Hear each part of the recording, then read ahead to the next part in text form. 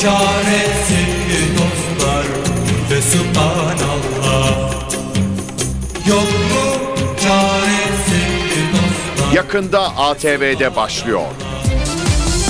Dizi ATV